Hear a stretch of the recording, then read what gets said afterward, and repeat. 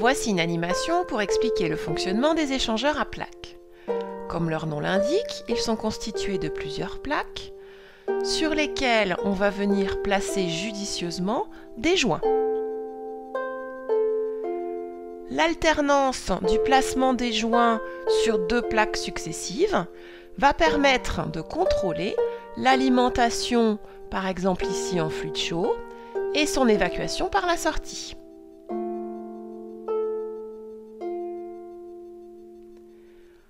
Pendant que le fluide s'écoule entre deux plaques, l'échange thermique va pouvoir se produire à travers ces plaques on va avoir plusieurs compartiments successifs pour le fluide chaud.